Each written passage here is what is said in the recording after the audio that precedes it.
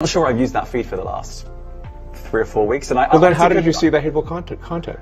Because I've been I've been using I've been using Twitter since you've taken it over for the last six months. Okay, so then you must have at some point seen the you for you hateful content. I'm asking for one example. Right. And you can't give a single and, one. And, and, and I'm saying I, I, uh, then I, I say, sir, that you don't know what you're talking about. really.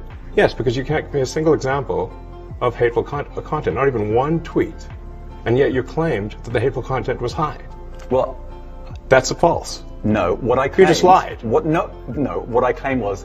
Uh, there are many uh, organisations that say that that kind of information is on the rise. Now, whether whether it has on my Give me feed one or example. not, I mean, I, right, and Literally you can't look at something one. like the, the uh, Strategic Dialogue uh, Institute in the, U- in the UK, they will say that. So you, they, Look, people will say all sorts of nonsense. I'm literally asking for a Right. single example, and you can't name one. right.